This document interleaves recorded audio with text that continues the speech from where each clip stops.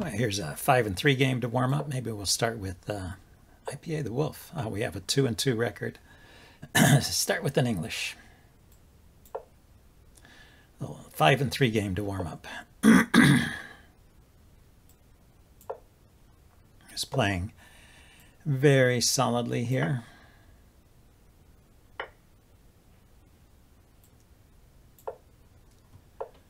With the uh, kind of reverse Sicilian opening it up. Although a lot of times the main lines are not these open lines in the reverse Sicilian. But uh, I don't know if there's anything wrong with this. There's no particular benefit to me to uh, trading everything off here. He's kind of uh, stopped me from playing the uh, Botvinnik setup.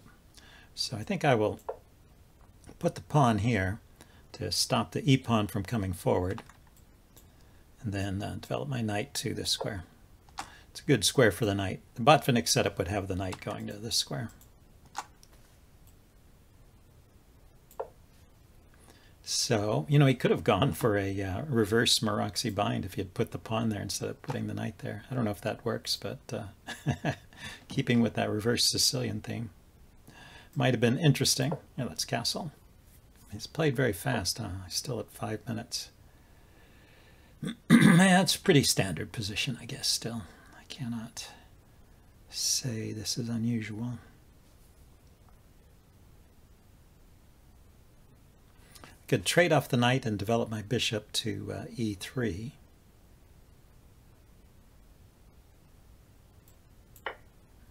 Distract him from this battery for a bit, and it's a good square.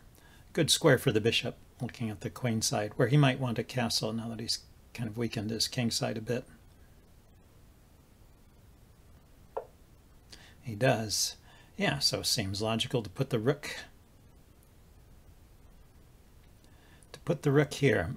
Question is what happens if he takes the a pawn with the bishop? So rook here, bishop takes, pawn up to try and trap the bishop. He can attack it with the knight.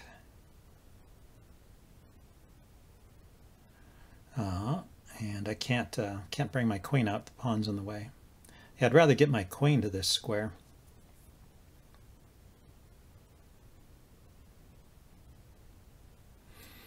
okay, I'll start by preserving the a pawn, I guess. And now I can push the b pawn, or I can play rook c8. Queen here probably runs into knight here. Yeah, his queen is defended. So let us uh, develop the rook.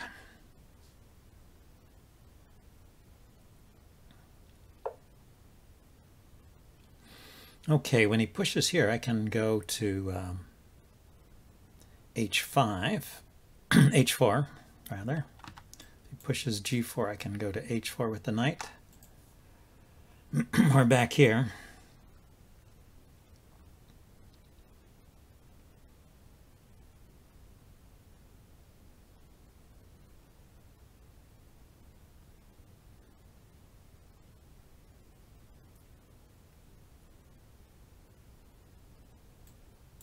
Okay, let's push push on the queen side here.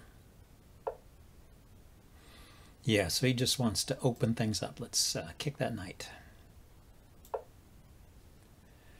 He's been, I think, a bit too casual here. I can go here with the queen now.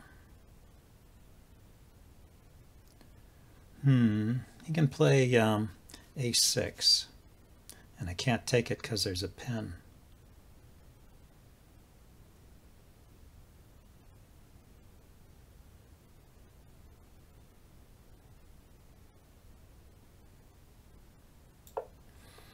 But uh, if he takes, it'll open up the um, A file, so I guess it'll be a standoff. He won't really be threatening to take. Oh, he goes that way. So he blocks the bishop. actually, he would have been threatening to take. He would take with the queen. um, so let's try and open up the center. Maybe bring a rook over here.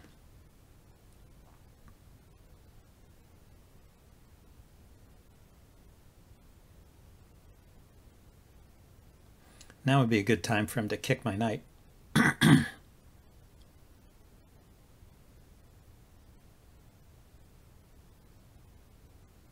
But I could still go to uh, a5 and I can still grab this pawn. Uh, h h4 rather. I can still go to h4 if he kicked that way. He kicked this way, so drop back.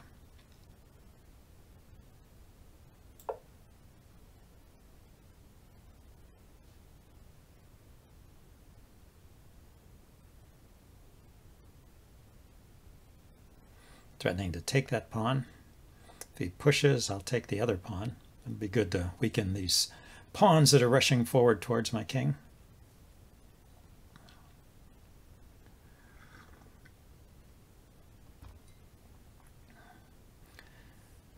yeah, so playing a reverse Sicilian in these open variations is a bit dangerous for black because um, the Sicilian is already a very sharp position and one move can make all the difference. So uh, that's why in reverse Sicilians, they usually go for closed, closed variations. So now the bishop is going to come back to f4 and look at that square and coordination with the uh, with the rook. So he says he doesn't like that idea. I could drop back here too. Ah, but then I lose the knight. So I guess I have to take could push my pawn forward. He takes, I take, and I've got a pawn there. Nah, probably pawn is better back here defending. it's better defending.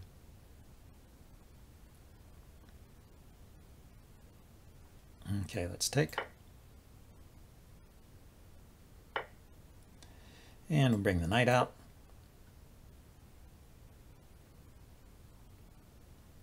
Knight can hop in here, attacking the queen go to here. It's looking good to me. And yes, uh, he is continuing to just ignore things, trying to break through quickly. But uh, he's going to have his own problems here, isn't he? He's going to take that is what's going to happen.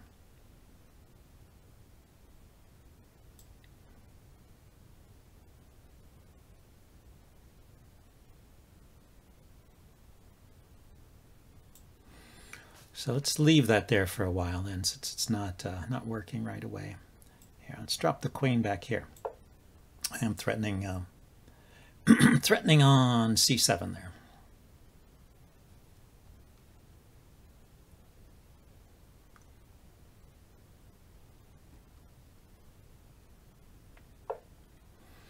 Ah, so he retreats his rook to defend. Knight here, knight takes, pawn takes, bishop takes, queen takes, queen takes, rook takes, rook takes. Yeah, he's got c6 covered.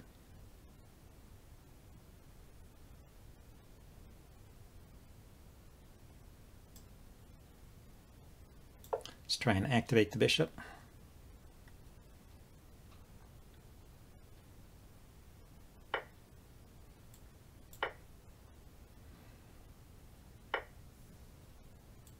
I'm not so afraid of this opening here.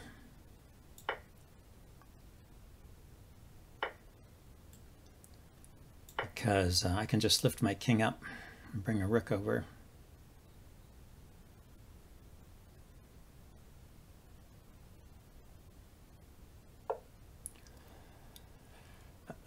so he goes there. Oh, he's attacking this pawn.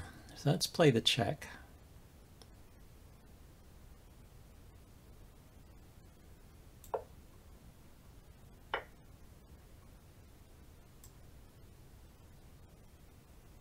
Can't take with the rook. Too bad.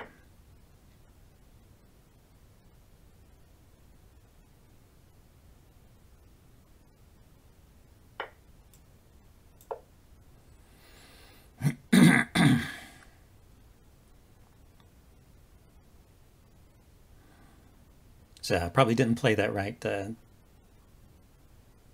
one, two, three, four. Well, it's about even, I guess, with four pawns versus four. He could have, I think, doubled his rooks, but maybe he didn't want to do that because it left the uh, c pawn hanging. But this is turning into not much. Maybe see some trick at the end here. check and take pawn. This pawn is hanging too. His king is also uh, going to get mated if he opens up his back rank here. If he leaves his back rank open, his king will get mated, whereas my king has squares to run to.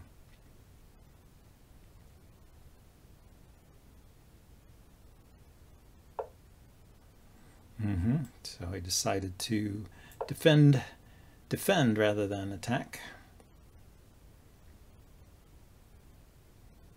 I decided to get rid of the uh, the mate threat. So if I go here to uh, threaten the check on the back rank, unfortunately the uh,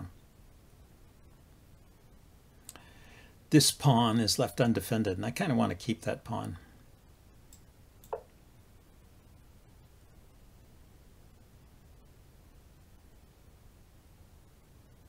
He can check here and trade queens.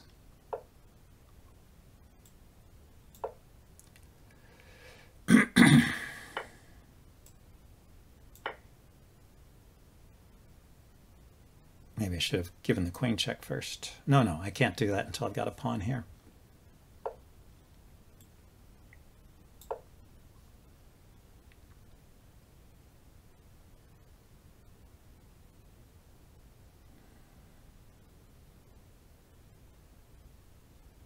If he takes the pawn, I'll have a strong passed pawn here. Ah, so he goes for the endgame.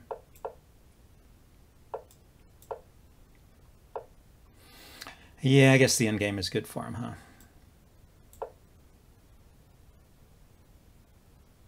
Maybe it's a draw, though, because my king will be in front of his pawn. I'll use my king to round up these. He'll have to take this.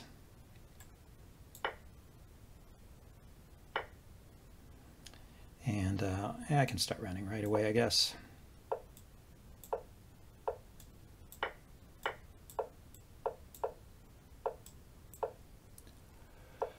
uh-huh, yeah, it's one of these situations where you can take the pawn, but I'm in front of the pawn.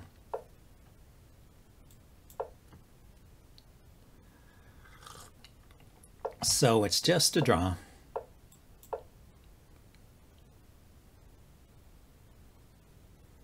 And I can't run out of time because we have the increment. So our score will remain even. IPA the Wolf. I guess we're pretty well matched.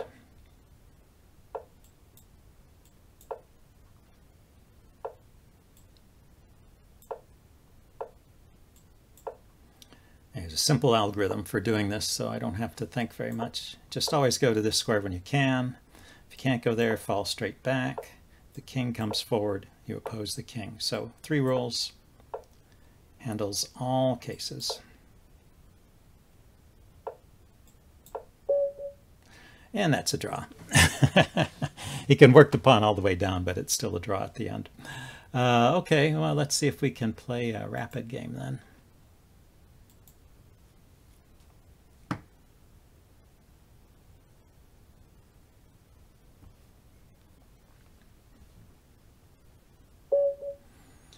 Ivan, Ivan Ivanenko Vladimir.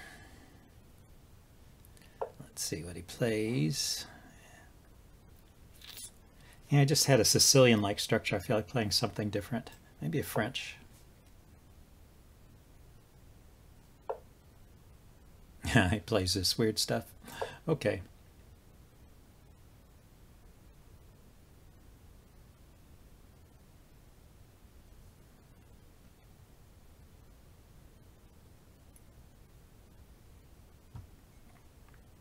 Take, right?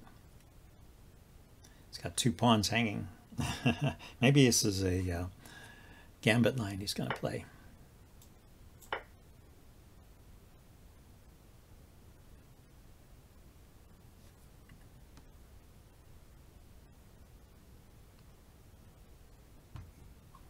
Okay, well, now that we're out of the opening, now that we're out of the opening here, I should slow down and think about the position.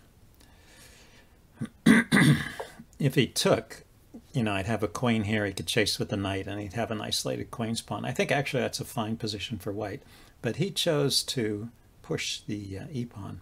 So I can attack it and see how he's going to defend, probably with the d-pawn. Do I want the knight here? No, I don't want the knight there because I want to push the c-pawn.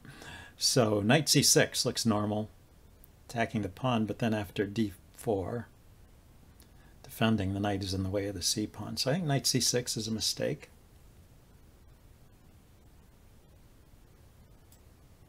So I'm going to develop the other knight, and I can't bring it to uh, f6, so I'll bring it to g6, I guess. And he checks along this diagonal. I'll just play pawn to c6. And uh, well, I still have the idea of pushing that pawn to uh, c5 later to undermine the center. Which might be even more interesting with the knight on g6, putting pressure on the e-pawn already. Looks like uh, king side castling should work fine here in this position.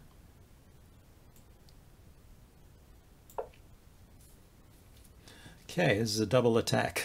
I didn't have to think about that for too long. I'm attacking the e-pawn and I'm attacking the b-pawn.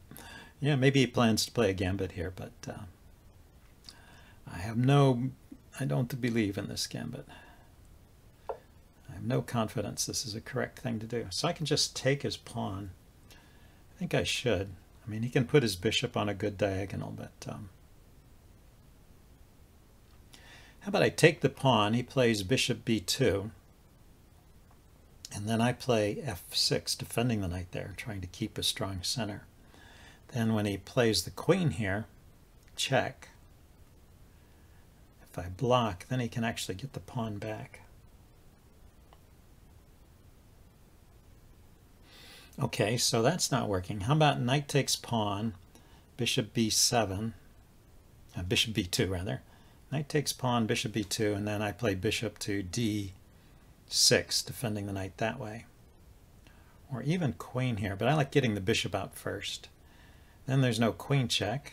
I can just bring the queen out, but then I can bring my queen out. Yep, let's take it. Take that pawn.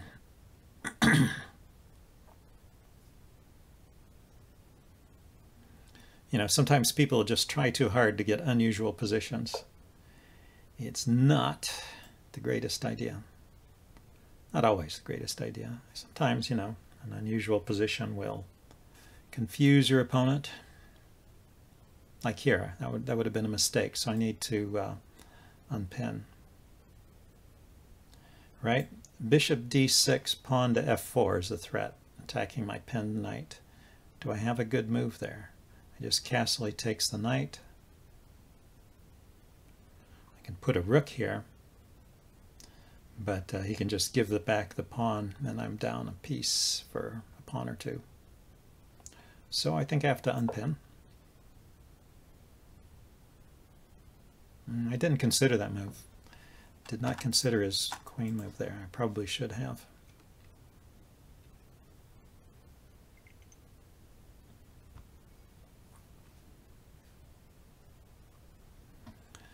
So bishop b7,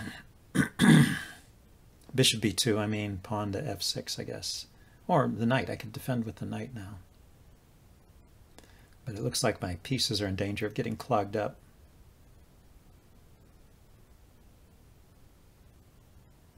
Oh, I could just uh, move the knight. If he plays bishop b2 attacking the knight, I can move it. Force a queen trade.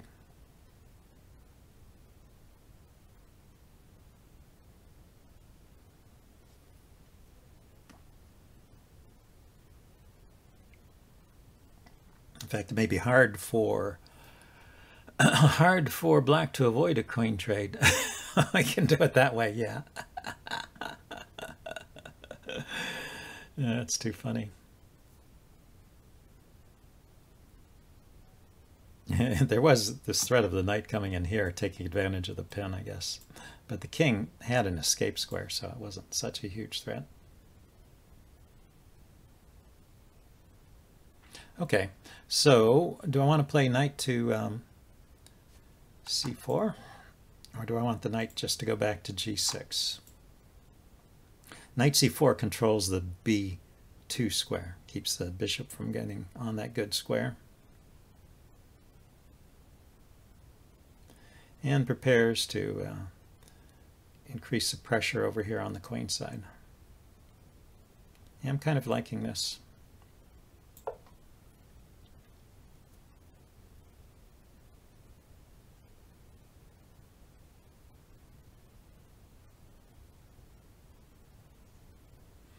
Maybe follow up with queen um, f6 if he doesn't um, if he doesn't trade queens anyway. If he trades queens, I'll take with the bishop. I still want to get bishop to f6. This diagonal looks good to me. Looks good for me.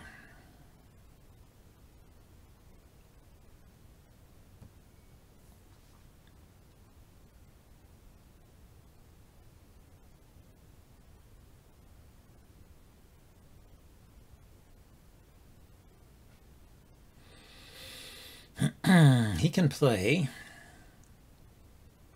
E3 here, or D3. D3, I guess that is. Okay. Ah, he's hitting this pawn.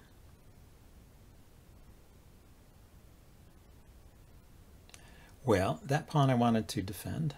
Let's defend it this way. Also defending f7.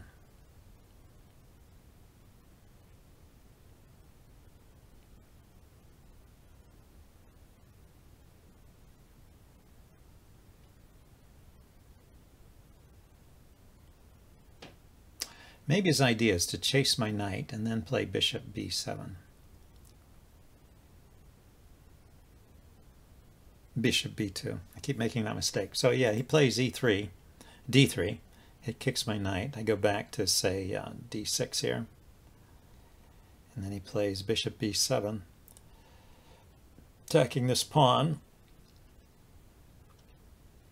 which is a little awkward for me because I can't um, well, if I push forward to hit his queen, I guess I could play that. That would still work. So let's do this now then. Um, oh, he uh, he's attacking. He's attacking my d pawn again. I want to get in the move uh, b6. That's why. I'm kind of eager to play that. Chase his queen away. He has nowhere to go on this. Uh, rank. That'll be covered by queen. These light squares will be covered by the pawn and the bishop, and the knight will cover this square. So chase the queen right off of that. Anyway, my center is quite solid here. I just want to have the flexibility of, you know, a few more places to put the knight when he kicks it. Right now it has to go back to d6. Oh, he decides to trade. Okay, give up the bishop. Yeah, it's true. That was an annoying piece there that knight. But I thought just pushing d3 was a, a reasonable way to get rid of it. Hmm. Okay, so now when I kick the queen, the queen can go to this square where it's defended by the knight. Um, so let's bring the other knight out.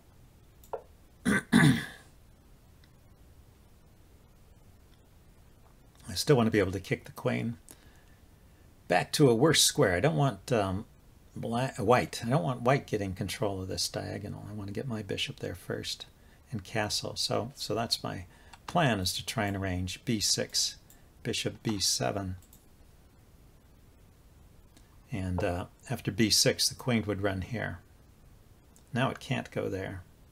So it can't get onto this diagonal, and I can play bishop b7 myself. Now, after the queen moves, he's planning to um, bring his knight in to attack my bishop. That's the point of this uh, rook move here. So maybe he can get a pawn back there. Well, we'll see where the queen goes first.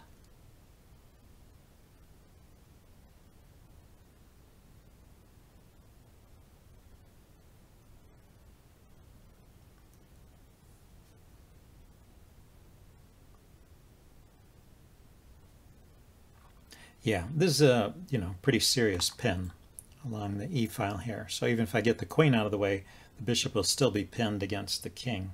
And so a knight coming into this square or to this square will be a problem. So that's why he's offering the queen trade there. But in this case, I will just kick the queen again. Don't mind a queen trade. Also take control of this square. And when I take back with the bishop, I've actually unpinned this bishop. So if he attacks from this side, maybe I can just find a nice square for my bishop. Hmm. Well, not so easy to find a nice square, actually. But I could go here, where at least uh, I could get traded off for a pawn and wouldn't lose material. Without the queens, doesn't matter if my king position is a little shaky. His position is not so great either, and I'm still a pawn up.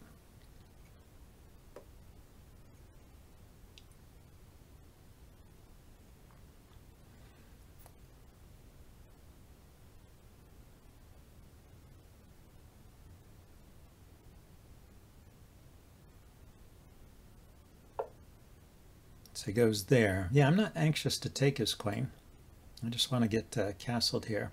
So the knight.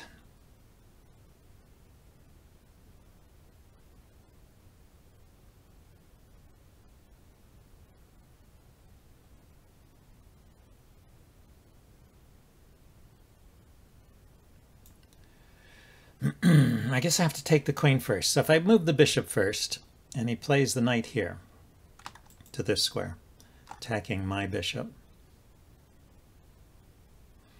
Oh, I could just, um, then, then I'm a queen up. I shouldn't worry about that line.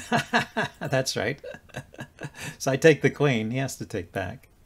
And then, um, and then there's no problem here, right? I'll have, I'll have a move or two to unwind.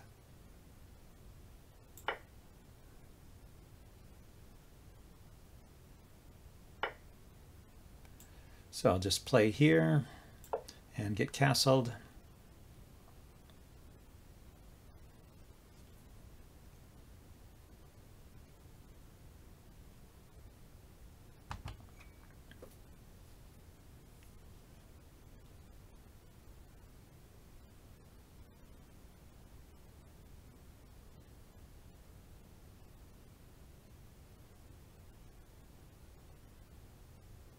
Yeah, this bishop is on a great diagonal now. Unfortunately, he can he can oppose with his bishop, but oh, he discovered a tactic. Yeah, that's true. If I take the knight, he will take the bishop. He's also threatening my rook. So where should I go? Could lift the rook up to h2.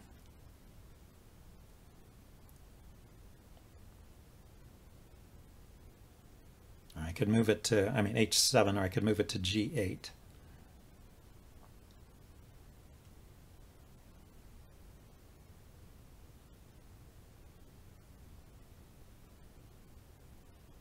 Can he attack it on h7? Or is it just better on g8 anyway?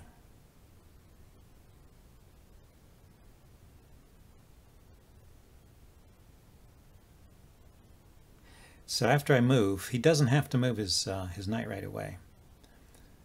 Uh, so I will I will unpin with my king next. Where's his follow-up move? If he doesn't move the knight, well, if he doesn't move the knight, I'm threatening to take his knight and then take this knight. So I guess guess he will have to move the knight.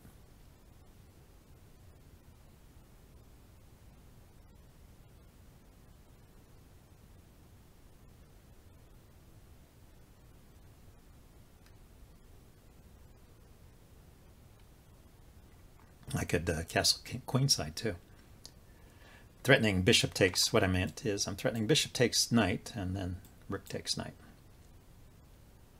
Because he has to respond over here, he loses this rook.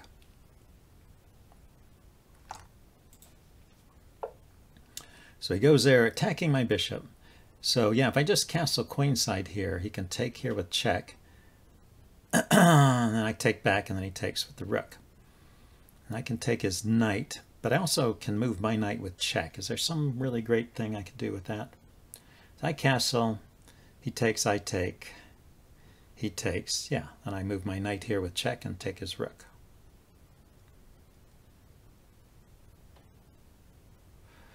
but that works only if I play this first. So let's see. Because I have to open up the line to his king. I almost forgot that. But uh, yeah, you got to play these right. So I mean, I'm attacking his rook. So I don't think he has time to take here. Yeah, so now I castle queenside. I've got a discovered check against his king.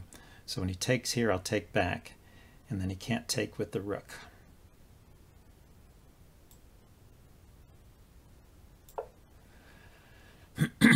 and at the end of the day, this pawn is hanging too. If he doesn't take back here, yeah, maybe I can find some other cool thing to do with the discovered check.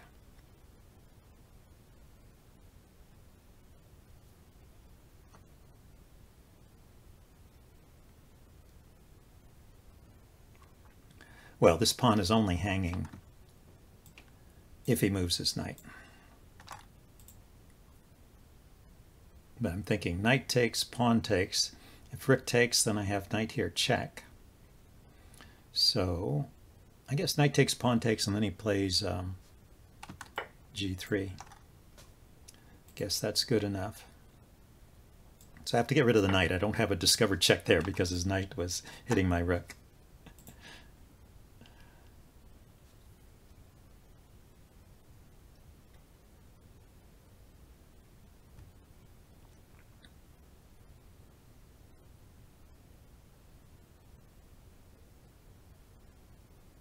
So if he moves his king away from the discovered check, I'll just grab this pawn. He takes this pawn. I'll grab this pawn, and, and I'll have this outside passer here.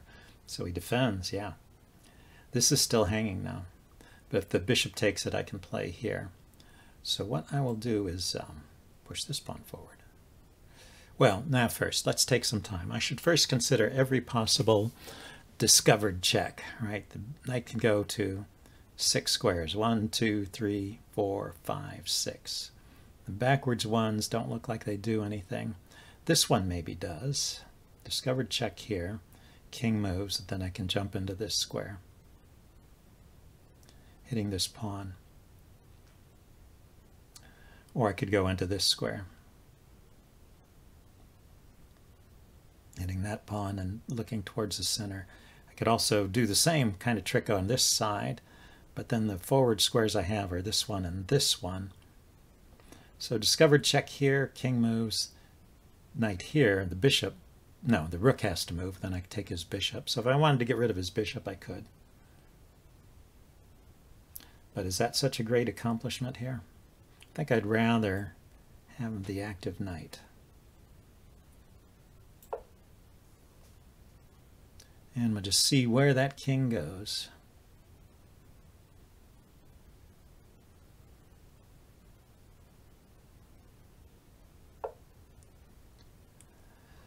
Okay, so knight here.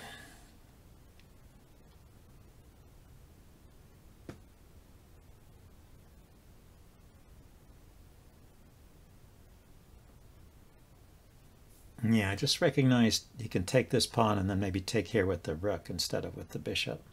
I was counting on, you know, bishop takes, rook here, getting this point. So let's see, I can go here hitting his rook. Rook will take, I can take here, he can take here. And then, uh, then what? Then I can go after uh,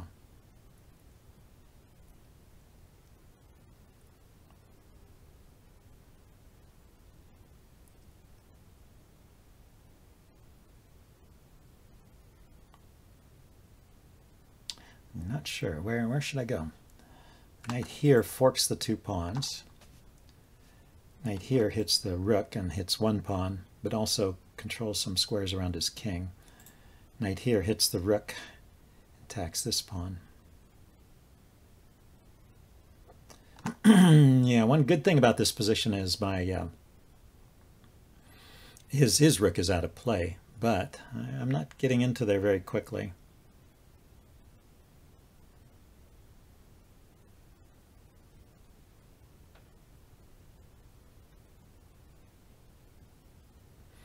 This square might be better used for the, the rook this square. Maybe maybe this square goes to be, maybe that square should be used by the rook.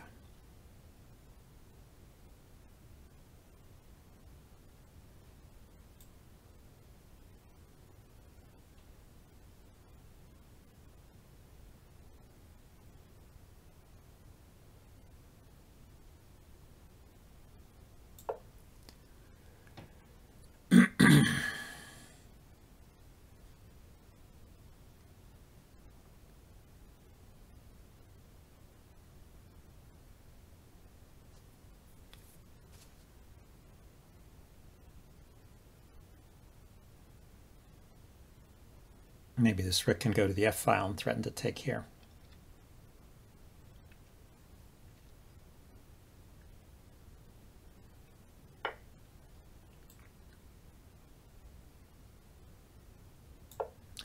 We'll see how he reacts. Got to activate those rooks, especially while his rook is not so active. Would be the time to do this.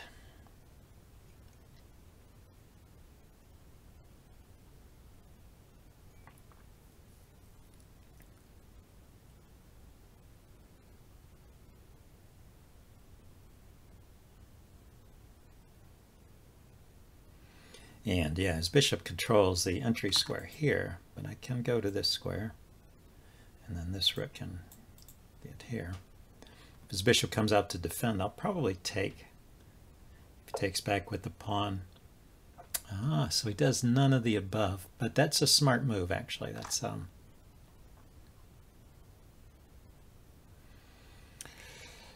yeah, although it blocks in his bishop. Pros and cons.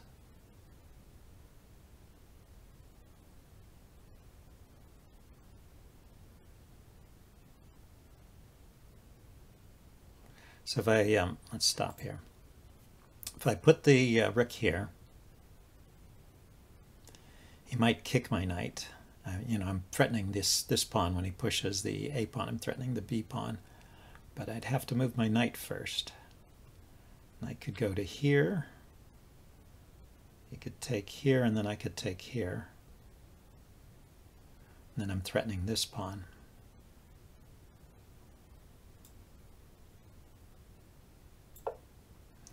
We'll see what he can do here. If he doesn't kick my knight, I'm just going to take this pawn, let him take here, and then uh, move my knight somewhere. But so I can go after the b pawn, basically. So where's the best? Where's the best square for the knight? Here, back to here, maybe. Mm, that gives him a tempo though to attack it. Yeah, there's not so many squares the knight can go to from there. So I take, I could come out to here. Maybe it's an idea and then come back this way if the rook is no longer on this file.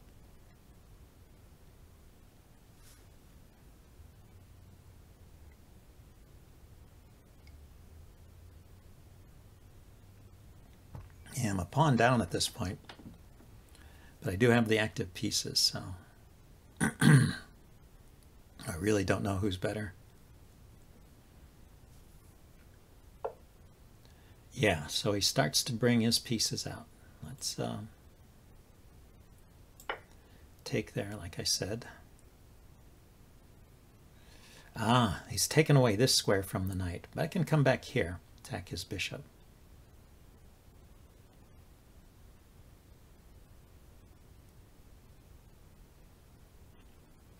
Rook takes pawn, knight f3.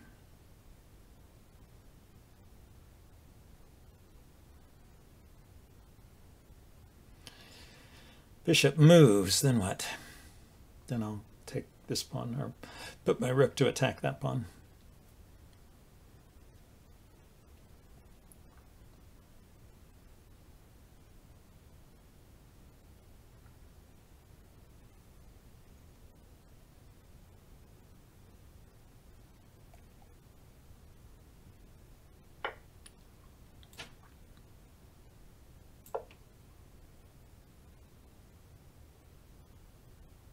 Bishop's just going back, I think. Oh no, it could go here. That's a trade. It gives me this pawn. But it activates his rook. Maybe it's a good trade for him.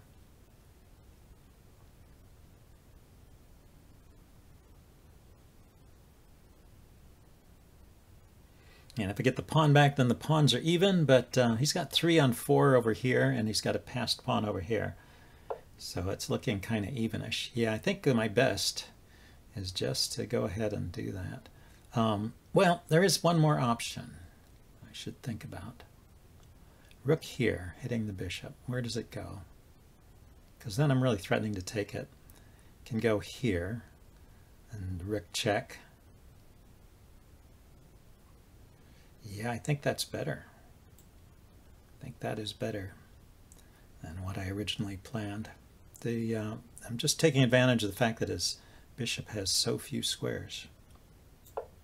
Even if he brings a rook back to defend, I can I can bring my rook in here to the second rank check, drive his king back. And that, that bishop will be a goner.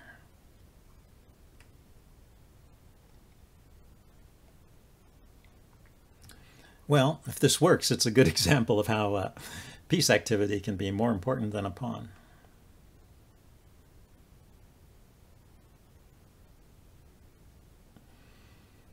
Of course, if it doesn't work, it's probably just me making mistakes, but uh, you know, even average players should be able to play like this and take advantage of piece activity. Something you should strive for in your games, even if it doesn't work every time.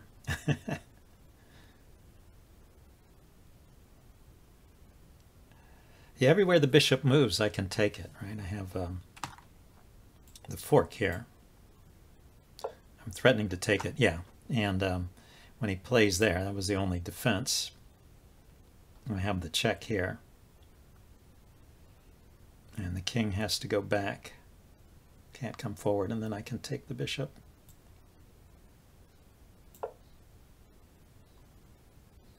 was just double checking everything. It's important.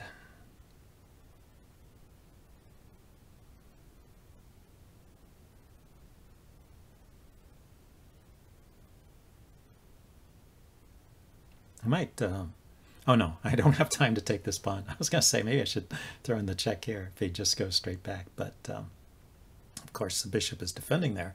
That would give the bishop a square to go to. that would be a bad thing. you have to take advantage of the fact that bishop has no moves. Yeah, so he goes there, so I will take.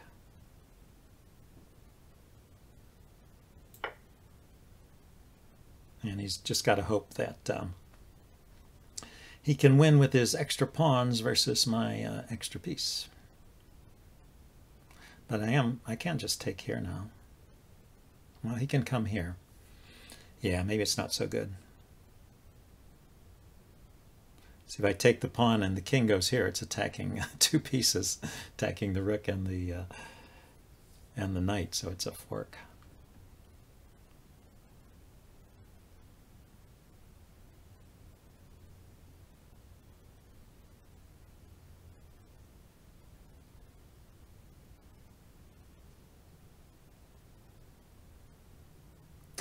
Ah, I could bring the other rook here. Check. Drive his king back to the corner if he doesn't... Uh... Well, we'll see what he does. He can start checking me now. And, um... Or he could put his rook behind the pawns and just start trying to push them. And um, But if he leaves his king alone here, I might try to mate him. I think that's a definite possibility here. this uh, rook here is mate, right? That's a mating pattern.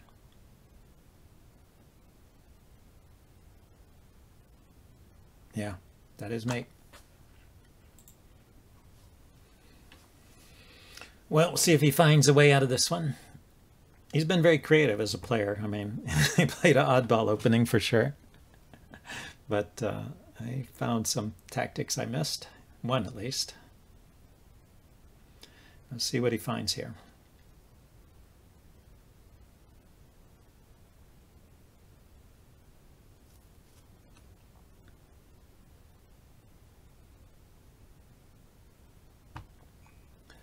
So to avoid the mate, he has to take the, the knight. But if he takes the knight,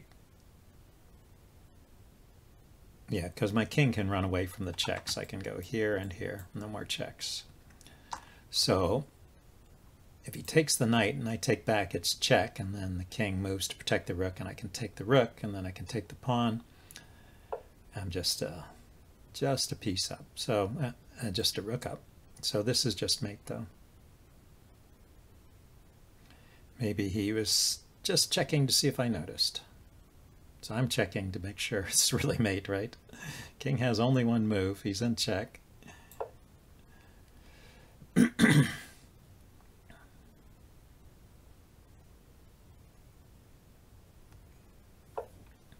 Well, that was a nice game. So, uh, uh, hope you guys enjoyed this session, and I will see you next time. Bye now.